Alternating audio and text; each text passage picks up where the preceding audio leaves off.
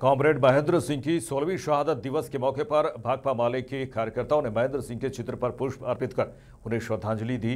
वहीं गावा में शनिवार को भाकपा माले ने मानव श्रृंखला बनाकर किसान आंदोलन का समर्थन करते हुए नए कृषि कानून को वापस लेने की मांग भी की। माले कार्यकर्ताओं ने गावा प्रखंड मुख्यालय गेट से लगभग पाँच किलोमीटर तक मानव श्रृंखला बनाया, जिसमें प्रखंड क्षेत्र से हज़ारों की संख्या में लोग शामिल हुए। आज 16 जनवरी है और कॉमरेड महेंद्र सिंह की सोलहवीं शहादत दिवस है। और आज आप तमाम लोग जानते हैं कि देश में तिरपन दिन से किसानों का, किसान बिल के खिलाफ में आंदोलन चल रहा है और लगभग 70 किसानों की मौत हो चुकी है, शहादत दे चुके हैं।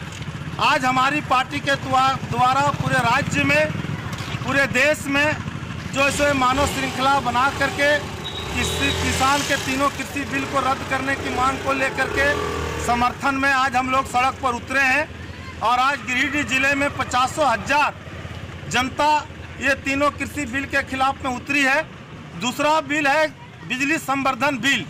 जो बिजली बिल संवर्धन बिल यदि मोदी सरकार पास कर देगी तो आठ गुना बिजली का बिल बढ़ जाएगा और इससे पूरा देश के किसान मजदूर तबाह हो जाएगा।